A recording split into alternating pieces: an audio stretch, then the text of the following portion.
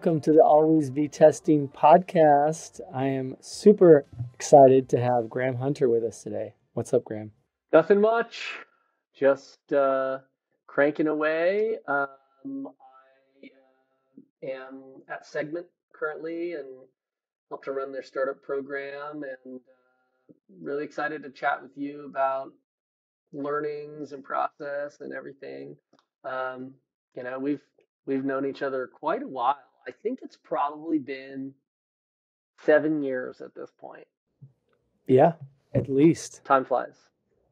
Yeah, you were you were I think um you were Tradecraft at the time. I was just rolling out Round Barn Labs and mm-hmm. talking a lot about the growth stuff and all the emerging excitement around the topic of growth. We were both in San Francisco at the time. The heyday yeah, pre- pre-COVID. Pre-COVID. Um, awesome. Well, I'm, I'm excited, so excited to have Graham here today. Um, he is uh, a true uh, growth person. Uh, he he understands acquisition. He understands multi-channel. He understands teams. Um, he's been you know featured in a number of interesting uh, speaking engagements and, and pods in the past, and leads the startup program segment, like you said. And yeah, man, it's gonna be fun. Um, just for the audience out there, tell us a little bit about your background. I know people would be interested in it.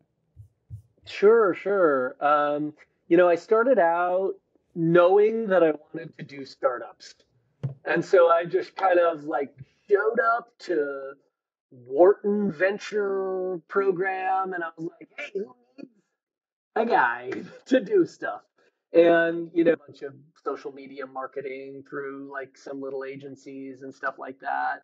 Found a company that I, I loved that was doing e-commerce before direct to consumer was like really popular. Just did whatever was required. I packed boxes for years, and before we got our full sort of like you know shipping thing going, learned so much about marketing, so much about e-commerce, and from there I just sort of like went into agencies or consulting one channel at a time. I started doing Google search. I then I moved to SEO, and then I moved to sort of like being a like full stack marketer. Um, I joined um, some different startups along the way. I was a director of marketing at Patreon, like employee 38 or something like that. Um, I think now they're somewhere between 500 and 1,000 people. Um, and yeah, so that's really like how I got my start. Uh, you know, sort of tackling one channel at a time, educating myself, being able to execute, and then like moving to the next opportunity that sort of like opened things up. And then, you know, after a while, I kept joining larger and larger startups. And then I found Segment because I had used it and it really unlocked a lot of the functionality for all the marketing tools that I used. And things like that. And then when I saw that they needed someone to sort of manage the startup program and startup ecosystem stuff, I was like, perfect.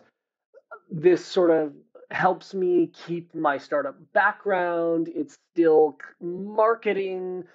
I don't know what program management is per se, but you know, I don't think it's that challenging and and so you know, really like kept all my skills, brought a little more work life balance from some of my early startup days now that I have kids and things like that. And, and yeah, I couldn't be happier. Uh, love, love the team at Twilio and Segment and um, always excited each quarter to sort of like awesome. launch new stuff. And uh, that's cool. Yeah.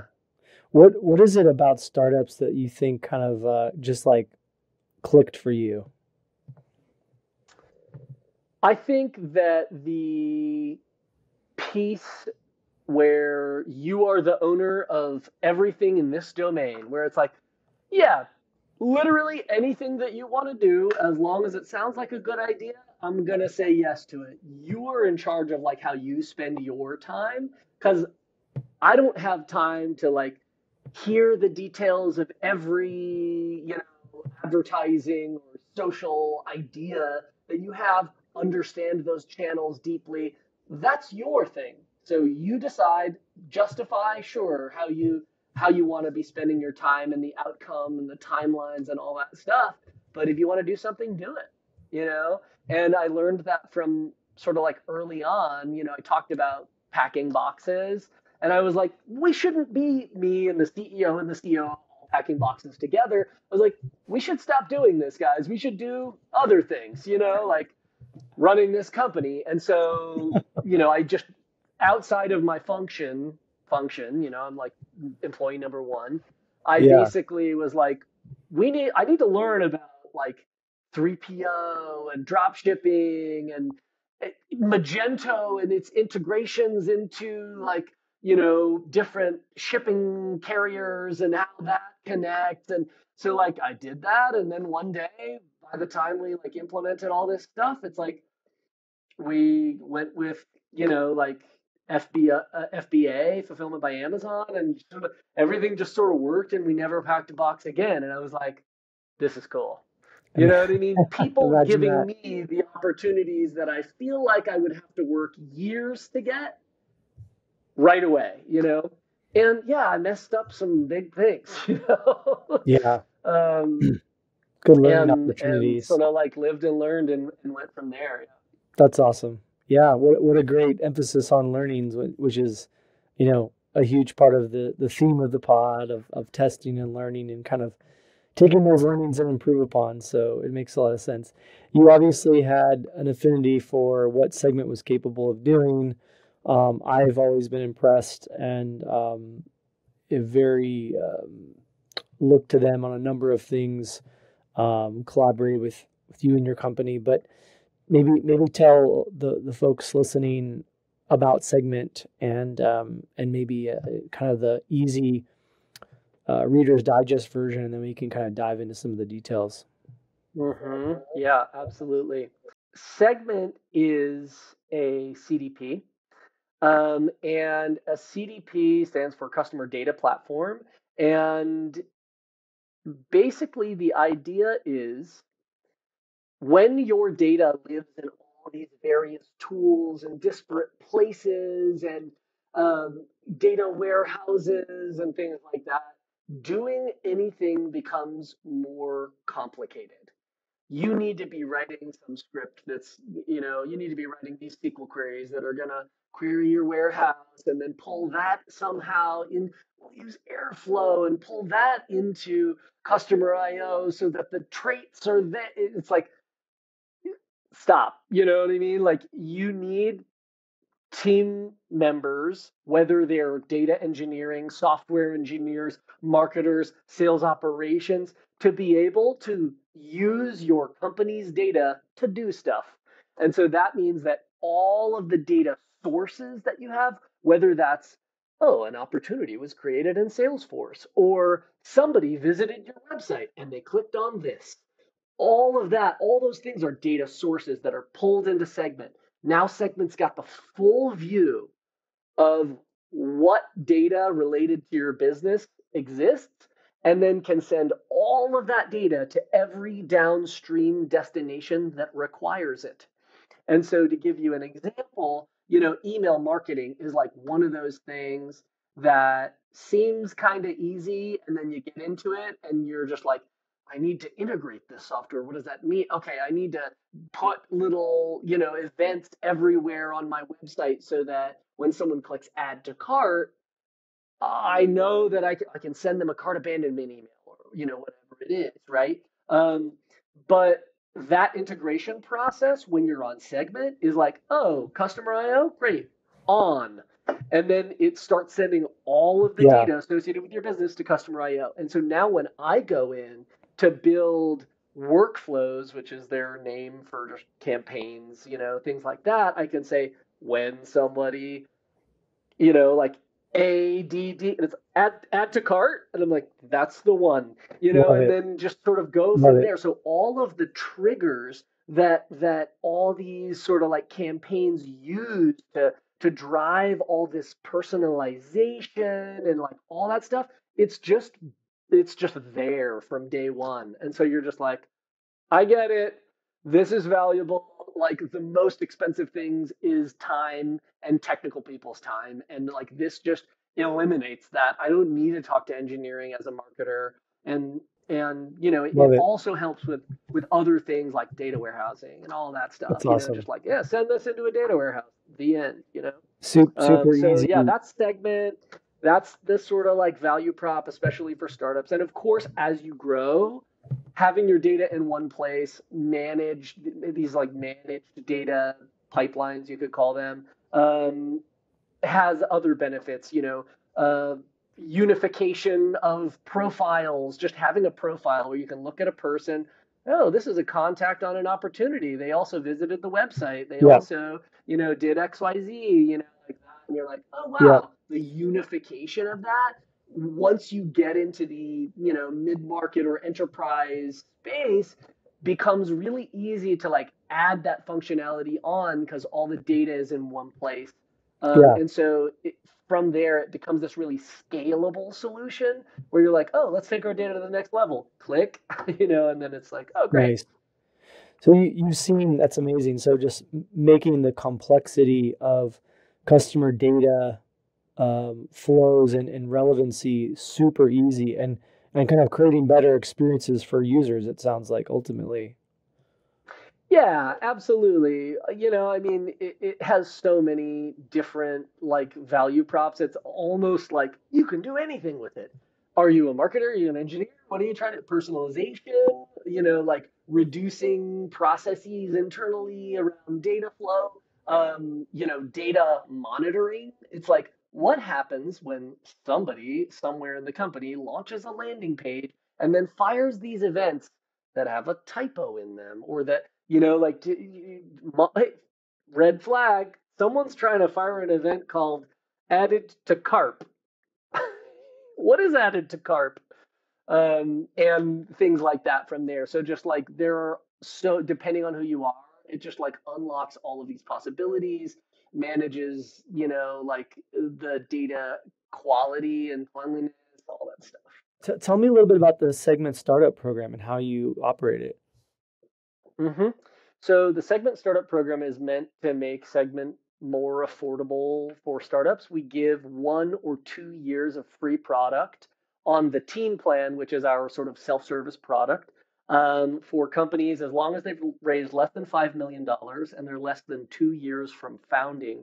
That's our early stage program. And um, um, we've seen a lot of folks, you know, use that. I, I think that something like 50% of YC companies use our program. Um, awesome. We've had over 20,000 startups that have come and, and used the program to, to get awesome. Product. What's the coolest yeah, we, use case? Like, I'm dying to know, like, someone who's like integrated segment in a way we are just like, oh my gosh, this is amazing. This is such a great use case. I'd love to maybe learn a little bit more about um, the types of companies or maybe a, a, an anonymous case where it was like, oh my gosh, they just or a non-anonymous case of like they nailed it. This is this is like the perfect usage. Mm-hmm. Yeah, I would say it's it's tough to to to have a like a perfect use case, but yeah. basically like the more sources and the more destinations you have, the more integrated you are. Like the worst use case is to just add a JavaScript source, which basically is like the website, and then send that data to Google Analytics, and that's it. You know, like that's like why use segment if that's all you're going to do? That there's no value being created here. Just implement Google Analytics and sort of like be done with the thing, you know. Um, but so if if every place that data is created, which if you're a startup is primarily web, marketing website, product, and then you know any other tools where data is created. So like you know, I mentioned Salesforce, like an opportunity was created in Salesforce, and that's associated to this account. So we want to know that, you know. So if you have all those, and then all of the places that need that data, whether it be a warehouse, whether it be um, email marketing, you know, things like that, that's that's what a that's what a good sort of implementation looks like. And um, you know, I mean, people you know, from that setup, people can see almost all the benefits that we talked about, except for some of this profile unification stuff, which is like a thing that you can like upgrade into after the program's over. Yeah, that's interesting. You've you've seen so many businesses, so many startups. Um, for those that have, let's say, maybe reached a product market fit level, what are some of the things that you see that they're maybe lacking or needing most? Like from your experience, what are some of the things that you've learned and kind of said, I've seen a lot of this and this is what I prescribed for them to help them grow more effectively? Mm-hmm. Post product market fit. Yeah, I mean, I, I, we could go both it's ways. Not, yeah. Pre-product. Yeah. Let's go pre-product uh, let, us let's go pre because here's the thing: is that like product market fit is not like some sort of like line in the sand where like they cross over and they're like, "We found it, everybody." You know, like it's more of this sort of like, "I think we've got it." and let's continue to like validate and then before long the customer you know profile that you thought was your sort of core audience is like do we need to expand from that do we have mm-hmm. the product you, and then so suddenly you're like okay we should be selling not just to data engineers but also to marketers oh, okay but do we have product market fit with them does our feature you know like it it's, just gets like layered chess. and layered you're chasing it yeah. yeah Totally, yeah. So I would say that the biggest thing is that people think that they have product market fit and that means they should hire they should like pour money into marketing and they hire a like pretty senior person and they like that person is like we should start advertising and then they dedicate a big piece of budget for advertising which really highlights maybe that they aren't having the right fit, you know? And so so that is like what I see most of the time is like we have product market fit. Yeah. That means marketing and marketing means advertising, like boom. And then before they know it, it's like, whoa, these unit economics aren't like really what we expected when you add every little step of the funnel of added to cart and abandonment. Uh, I'm going in and out of like B2B SaaS and e-commerce and like some things like this, but you, you get I the idea. It. I love um, it. That that's what I see most often. Now, since there's been a bit of a recalibration in the venture market in startup land, that's a whole other topic we could talk about. Mm-hmm. Has the percentage of people that are overstating their level of product product market fit gone down? Yeah. Really? For sure. Yeah. People are better at it than ever. People like like I talked to you know I talked to a fintech company the other day and like you can just tell the way they talk about it and you're just like wow this this guy is good just customer obsession and focus like expanding outside of that core persona a little bit to like see what it's like out there um, is that a real fit for their product? And then they find it based on willingness to pay and revenue. They're like, we talked to a comptroller and they were like, this is my biggest problem. And then we talked to 20 comptrollers and that was all their biggest problem. And then we built the product for that problem and they're like, take my money, you know, like, and I'm just like, great job. Like, way to go, you know, just like that kind of thing more and more people are better at that. And if you rewind the startup eco, if you rewind like all the founders that I've like talked to and worked with and all that stuff, all of that information about what it means to be customer focused and what it means to have product market fit was out there and everyone was consuming it. And then it almost felt like they were like not acting accordingly. Like they'd be like, What are you doing for social? We need to do it. I'm like, Do we? I don't I don't know. B2B SaaS and social like doesn't always just like go swimmingly, you know, like how many likes did you get on your last organic LinkedIn post, you know? And sure, we should do that eventually. And it's just not like this checklist of things that you need to be doing.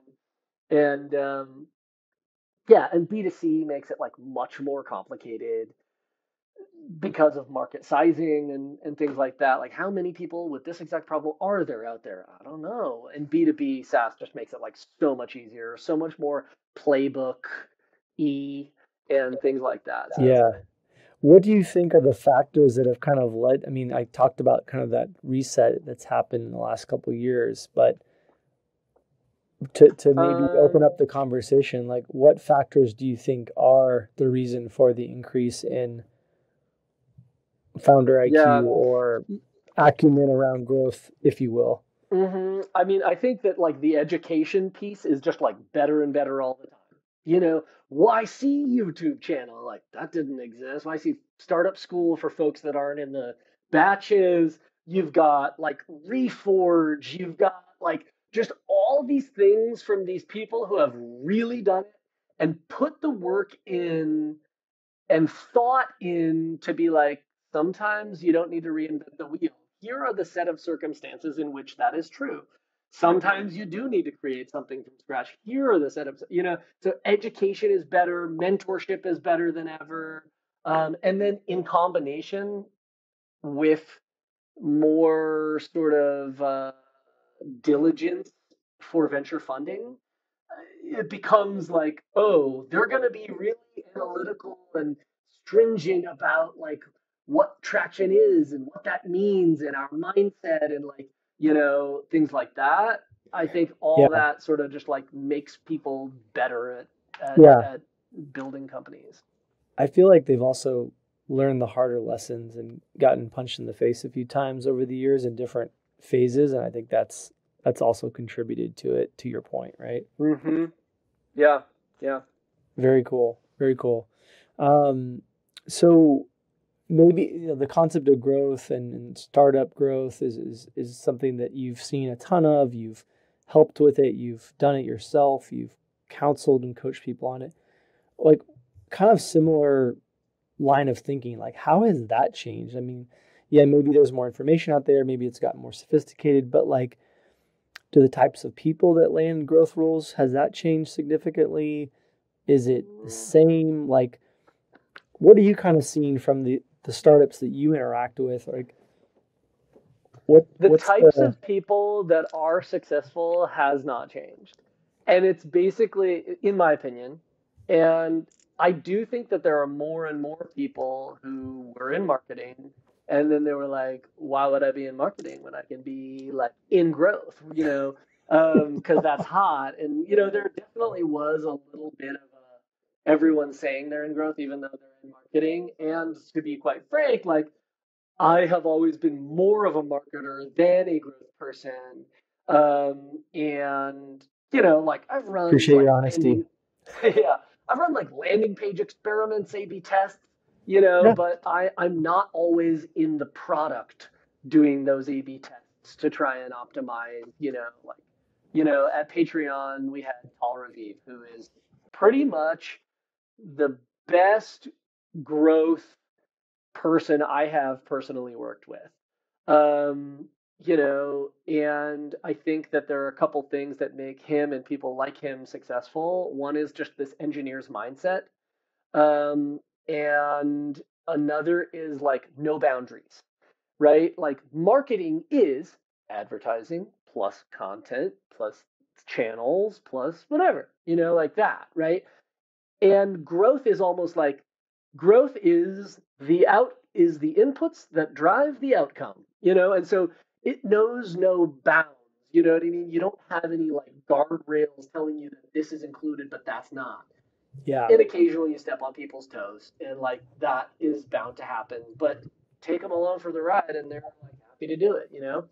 Um and so you know i think that you can read a lot about the um, you know, from somebody like Tal about the Patreon onboarding experience. And Adam Fishman's newsletter is a great place to look for, or blog post with Reforge and things is a great place to look for that kind of content as well, where they're like, people don't know what this is. Is it Kickstarter but monthly? Is was the like when I joined Patreon, Kickstarter but monthly was like the thing. You know, that people at Uber for X that people would use to sort of like describe the product and we sort of like realized that like there needed to be this like education piece not all creators thought of themselves as business people and didn't like optimize and care about revenue in the same way and all that got rolled into this big thing and this onboarding experience that everyone went through. And when they came out, it was just like night and day the outcomes, you know. And um, what what yeah, else so, made him? so What else made him a great growth lead in your mind? And uh, like at Patreon, what what else was kind of part of that besides the engineering mindset, the no boundaries? I mean, customer centricity with that engineering mindset, you know, like, um, you know, Was he talking to some- customers a lot? I, I, I, to be honest, like I don't know, but I would be surprised if he wasn't. You know, like things like that. Yeah. Um, you also asked a little bit about uh, like has it changed over time? Um, and one of the main changes that I've seen is like early in, and, and maybe this is just a seniority thing or an experience thing, is that brainstorming, prioritization, and execution to me was the like well accepted formula. You know what I mean? For a long time, where it's like, let's talk about the outcomes we want. What do you think an initiative could be that would drive those outcomes? And you're like, this, that, this, that. Okay, let's all get that into a big list input, output, probability of outcome. You know what I mean? Where it's like, this is Yeah. a, a light a light lift with a with a potentially heavy outcome and a low and a high probability of success. Let's do that. You know, but I think now there is a little more and and that worked because it was easy for everyone to do. Anyone could get in a room, brainstorm, prioritize, execute. And like at, some place like Patreon, like that's what we did, you know, like but now I feel like there's a little more like strategic rigor of like you can't just do all the things. You can't just sort light lift by the ratio of like inputs to outputs and expect that to like take you to strategic success. There's a little more of like, all right, like maybe this program that takes a year to make, it's a heavy lift. Eh, you know, like who knows what the probability of success is? You can look at examples, but like it isn't always one to one. And so I think there's just a little more rigor in the like prioritization and a lot more like storytelling around the initiatives that could lead to these big wins that are outsized versus the like you know little experiments that we can run or you know things like that and so Storytelling Yeah. internally. yeah yeah storytelling internally Interesting. Yeah, connecting it to like customer problem statements. You know, just saying something to the effect of like, of like, one of the things we've noticed is that creators don't think of themselves as business people. Like that's a big problem for a company, you know, like that. And so you'd be like, what if we solved that problem this way? But if you were just like, how do we increase the um, you know, number of subscribers per creator. Yeah. Or, you know, okay, we need to surface, we need to surface creators to uh, the other people's fans. And, you know, it turns out that, that somebody who joined, you know, um, a crochet channel doesn't want to know about anime. Yeah. You know, and, and, and that cross pollination is challenging and doesn't have that great of an outcome necessarily. And Would you summarize it by saying that like the input output kind of pure math problem of, of growth that was core to growth, maybe in its early stages, has evolved to become it's required and it's evolved into a more like nuanced strategic understanding of the customer and the market. for sure. Yeah.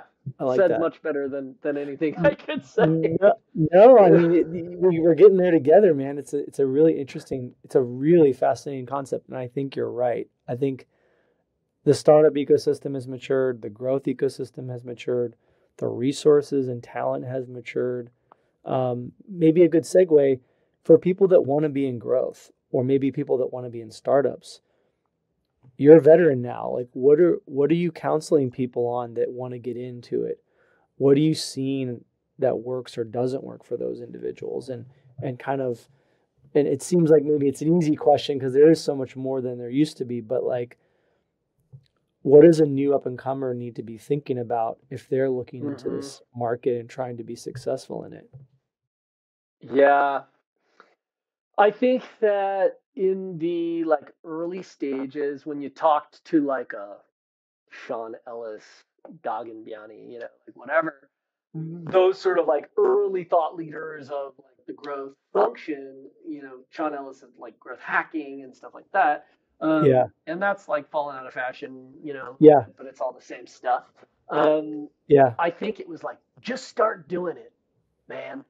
You know, like Yeah. just find someone who needs that and like, you know, just do some experiments. And I think that that now there's this sense of you don't need to like, you know, mess up someone's funnel and learn that mistake the hard way. You can learn that through education, you know. Um, and so like, you know, these like playbooks, these like assets, these uh, you know, things, it's like there are tried and true things. I think I think it's all about education in the beginning for somebody. It, it uh, I would say one big piece of it is the mindset piece. And so, you know, like you read all these books like to understand startups and businesses zero to one or whatever it is, you know? Yeah. Good and one. then there are these like channel specifics where it's like, what are the, it's almost like business case studies, but they're like just famous examples of like conversion rate optimization, Yeah. advertising, like how those all fit together. So, like, learning about the like martech ecosystem you know all that stuff is required and i would say mindset channels um and uh you know and then just sort of like putting it all together once you have that sort of like conceptual framework using in the beginning copying what people are doing because they've done it really well um that that that's the way to start and not just like find someone who needs this and you know like offer Yeah. your services you Stand know? on the stand Um, on the uh, shoulders of the giants. You, you know, read Yeah, your startup sure. and growth history in the form of these case studies to make your life a little easier.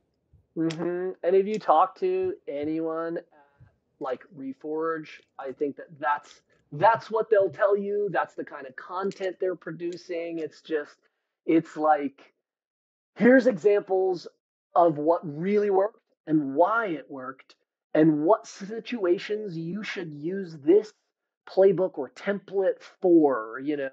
Um, and and then there's also process, right? So when I when I talk about I talked about sorry mindset channels and and you know all the things that go with that and then process like you know process is is a lot of it and that engineer's mind it lives in this mindset plus process kind of camp i think um and um, is is just sort of like really great That's awesome. That's awesome. Um, I have a thought on. We talked a little bit about folks wanting to get into growth. Um, I want to know what your thoughts are on kind of, and I think you touched on it previously, but misnomers in growth. Um, what do, what are you kind of running into, or what are you kind of seeing as maybe are there are there myths to debunk there, or maybe in startups? Um, what are some maybe myths that we can debunk on this conversation? I think that acquisition as like a top priority is like pretty tough. Most people are like, we oh, we found product market fit. We need to acquire more people, uh, more users, more customers, more ARR, whatever it is, you know. And I think a lot of times that means expanding the pool past this sort of perfect customer type of a thing. I have always been a fan of, um, and it doesn't always work internally, organizationally, but I've always been a fan of like a qualification metric, right? So, um, acquiring a customer that does something, you could call it activation or something like that, that that just kind of like a, a very low bar that proves that they're kind of like an okay fit for what this is, you know? And so a sign up isn't that. You know what I mean? A sign up anyone can do when they're like, what is this thing? I'll sign up and find out. And then they bail. Um, it could be like, you know, if I were to to to to do to talk about the segment startup program, you know, like in the beginning, we talked about qualified startups. How many qualified startups are we reaching? Oh, what's qualification? Well, you know, people generally get 100K, 120K when they go through like an incubator or friends and family round or whatever. Let's call that a qualified startup. Somebody who like has money, they're, you know, like, and so that's just a minimum low bar that we can do. But then when you talk internally about like the number of qualified customers, that they're like, what's a qualified customer? Like, this is the first time I'm hearing about it. And so it, it needs the socialization internally to like have everyone be on the same page, and that can be difficult, especially the larger the company gets. Um, I love that. Um, and so, and that qualification can often be tied to that persona that you've defined as like a really good customer. Because what happens is like you start going outside of that, and these core customers are like, in a way, subsidizing all these other customers that aren't going anywhere. And so suddenly your cost per is going like a little higher and higher, and you're like, yeah, diminishing marginal returns, man. That's just the name of the game, and it's all just a math formula to be solved. And then, and then it doesn't really like pan out over time, you know. Um, so yeah, that's what I'd say is like an over focus on hitting these growth numbers, which are Yeah. about users, and I'm like, that's that's a 15 years ago thing, Yeah. like just Yeah. users. Has there been a has been experience you've had where kind of educating internal stakeholders around, you know, establishing a cohesive quality metric or ancillary metric that really helps helps support the growth? What are some tricks that you've learned over the years to kind of have those internal conversations that are harder? Like obviously you have to just have them, but what what have you kind of is there anything in that that you've maybe seen from your startups in your program or from colleagues that have that are, the folks that are struggling to kind of change minds internally around a topic or even exter- externally maybe you see this Yeah. segment Yeah, I you know I I'm I'm glad to tell you like my approach, but this isn't like the right fit for everybody necessarily. So my like in like way that I think about it is quick wins, socialization, and buy-in, right? And so like you know, I'm like, okay, let me walk you through. You're talking to your manager or your manager's manager, whatever.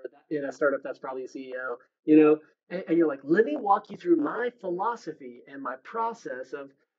Already, I'm like, if I'm the manager, I'm like, okay, like, what do I need to know about this? Like, what are you gonna do? What are you gonna, you know? And so it's too much like the cart before the horse, like theory before execution too much. You're trying to create too much buy-in. And and managers will always give you runway to like run with your idea, and if they don't, they're not great.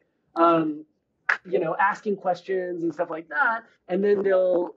But it's almost like I'm trying to deliver too much yeah b- too much buy-in activity before I've done anything. yeah And so to me, I'm like internally, Get a when I say win. internally, I mean my team. Yeah. Get a win using your process, yeah right? And then you say, and then you go and you say, let me tell you a little story about, um, you know, about, you know, startups and, you know, let's use the segment startup program as an example. You know, like previously we saw this many startups, but if you actually look at XYZ, that's why we're starting to use this qualified startups metric. And then, you know, if you actually look at the number of qualified startups that we've acquired over time, do, do, do, do, do, that is where the, you know, like real impact is coming from. And that's why we're scaling ARR at the rate that we are quarter over Yeah. quarter for the last two quarters or something like that. And they're like, love this. yeah And then when you tell them about your philosophy and your process, they're like, "Can you teach this to other people? Can you be doing?" Yeah. but you know, like that. They're Yeah. like, okay, tell me what it is Don't that's lead- working. Don't lead with the philosophy and process. Lead with the Yeah. hey, impact, result, test. Totally. And that's just so within a team, like, you know, I have one direct at segment, and me and him are super aligned on process, philosophy, what we're prioritizing and why. Sometimes it's because of internal forces caring about, you know, like new unique logos versus like you know, like whatever whatever the priorities of the org are sort of like becoming. So we can shift based on that, and we are very aligned philosophically. We've talked about it, you know, um, and but outside of my team, I'm like lead with quick wins, and then go, and then eventually you've got like a cadence of enough wins that you're like, okay, here's what we're gonna change. You know, like I use like crawl, walk, run all the time, um, and my like I don't know what your what your philosophy behind crawl walk run is, um, but uh, you know, or you could say beta, you know, like Yeah. pre beta, beta, GA, whatever you want to do for each thing, right? Um, but essentially, like when I say crawl up run to my direct, they're like, okay, and I'm like, and this quarter I'm thinking we take this initiative from crawl to walk.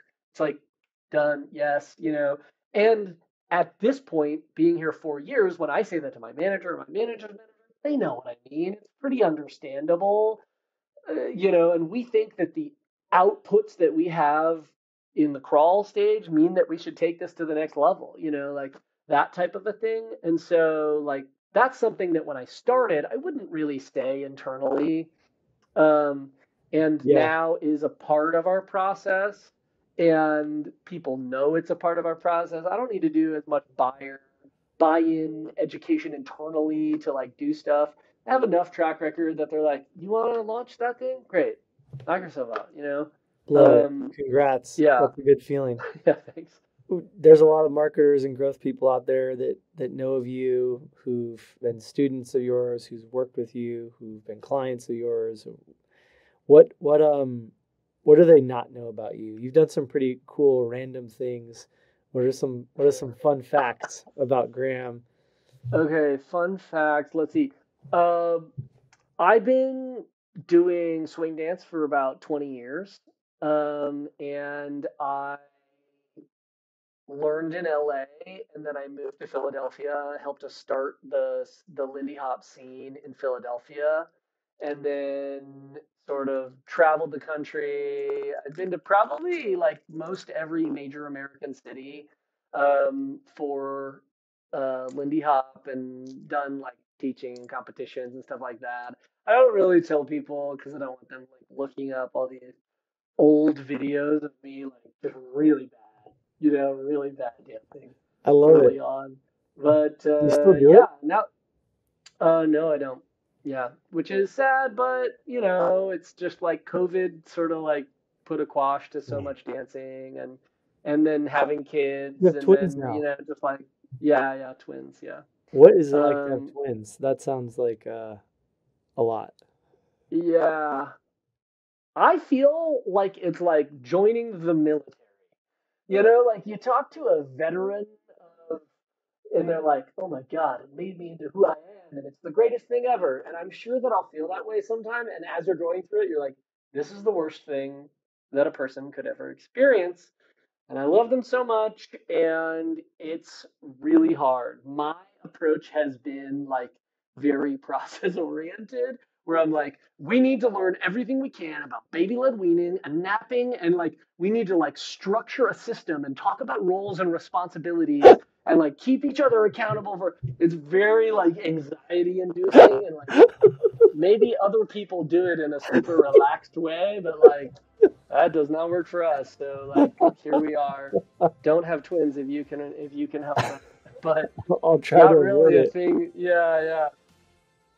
That's amazing. How, how's life on the farm? Oh, life on the farm is like pretty great. We're at a perfect time right now where we've got raspberries, figs, Oh, apples, and blackberries all like coming in simultaneously. You just walk around and you're just like, oh, Um, Man. really great, and it's just a good excuse to like get people over there, do some apple picking. You know, Beautiful. I mean, for us, it's like the apples are falling on the ground. Jesus, these freaking apples, you know, like, and everybody else is just like, I've never picked an apple off of a tree and eaten it, you know, from San Francisco. But yeah, well, I may have to come check out the compound at some point. oh, and, you uh, for sure do, yeah. I, I can't wait Yeah. to see it. We have a little apartment, and so like if we're in between Airbnb, whatever, it's like we'll, we'll put you up, uh, put you up with the kids in the apartment. I love it. I love it. It's been awesome chatting with you, Graham. You've got a wealth of knowledge, so many great stories, and we could go probably another hour longer easily. But we're super grateful to have you, and uh, it was a pleasure, man. So so fun and so interesting. Appreciate you chatting today. Thanks so much, Tye.